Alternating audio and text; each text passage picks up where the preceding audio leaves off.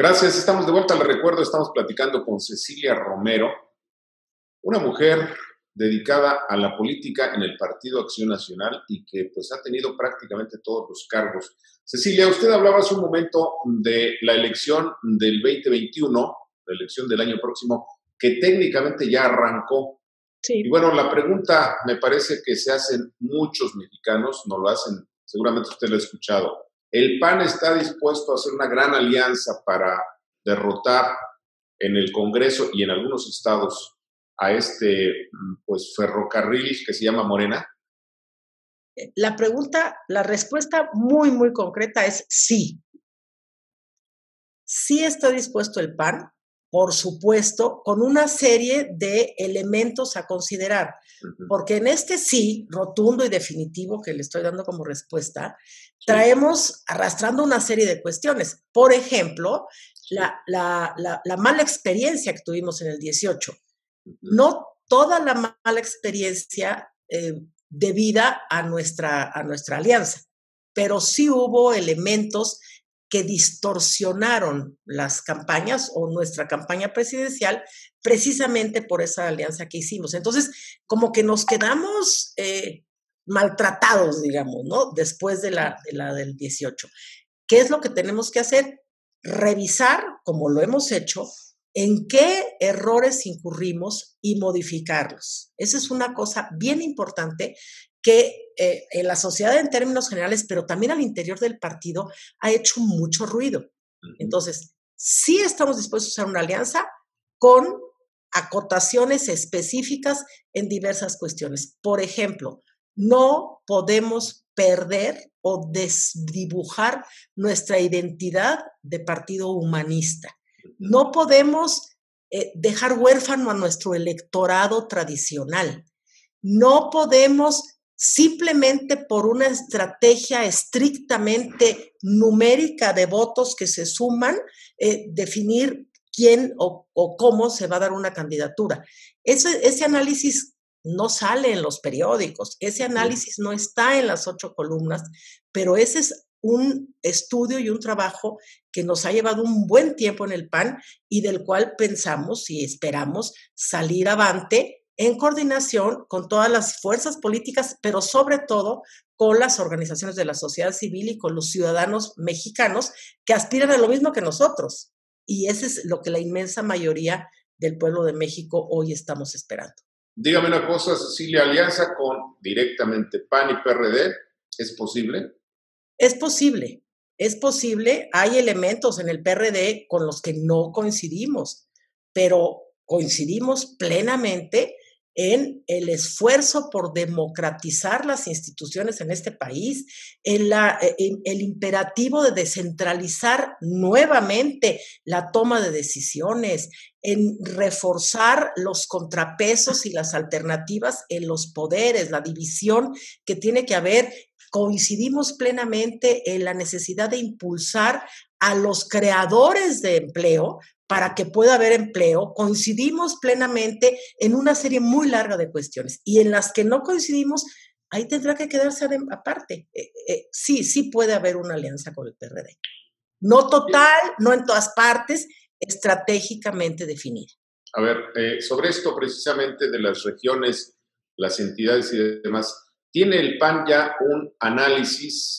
yo he estado en distintos momentos eh, eh, pues eh, al tanto de cómo se mueven estas reuniones. En casi todos los partidos se hace una geografía de qué potencial tiene cada partido en cada estado.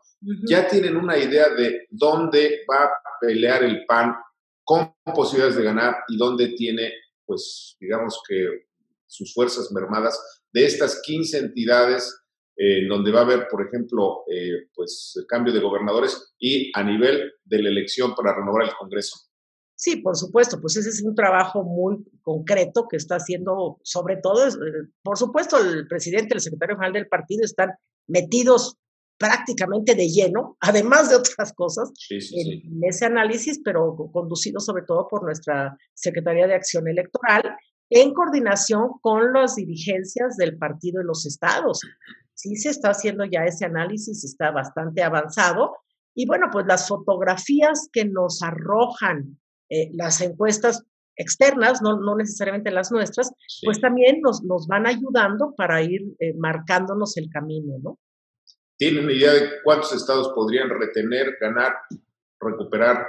Bueno, hay, este hay algunos eh, de los estados donde tenemos más mayor posibilidades, por supuesto está Querétaro, eh, sin, vaya, sin lugar a dudas, no quiere decir que no debamos hacer nada, ¿no? Está Querétaro, está Chihuahua, está Nuevo León, eh, esos tres me parece que son así como muy claramente estados altamente competitivos, de los cuales, pues Querétaro y Chihuahua nos, sería renovación, refrendo del, del triunfo del, del partido, y Nuevo León, bueno, regresar después de haber sido también gobernado por Acción Nacional.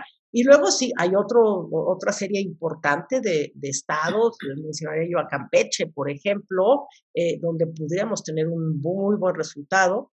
Eh, en fin, o sea, en todos somos competitivos, en algunos más que otros, pero de los estados donde creo que pudiéramos eh, competir con altas posibilidades de ganar, yo mencionaría por lo pronto esos tres.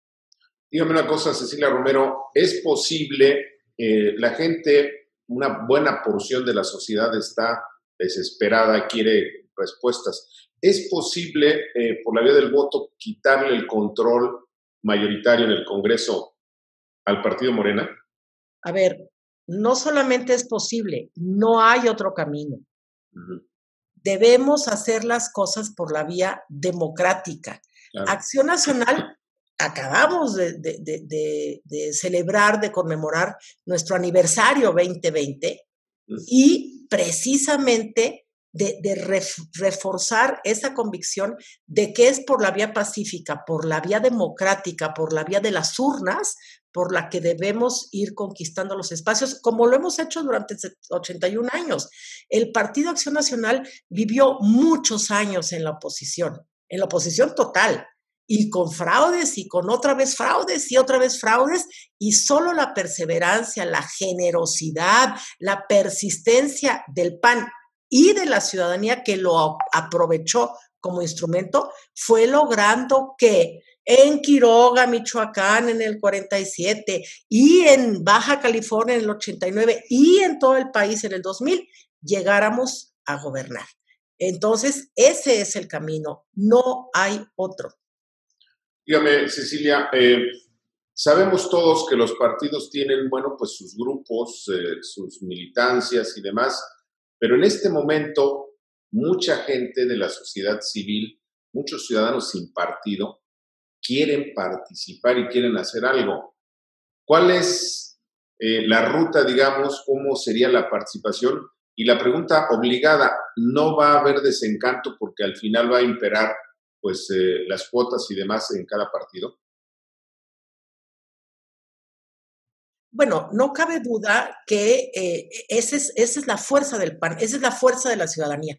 El hecho de que cada vez más mexicanos digan, ¿y qué hacemos para cambiar el estado de cosas? Es, por una parte, una, eh, eh, la, confirmación de la preocupación que todos tenemos por el estado de cosas, pero al mismo tiempo es alentador porque se está despertando el espíritu cívico. E, en este sentido, hay muchas organizaciones de la sociedad que afortunadamente han estado surgiendo y fortaleciéndose, y ahí los ciudadanos están participando. Y ahí estamos los panistas también participando. Luego hay gente que dice, bueno, pero ¿dónde está el PAN?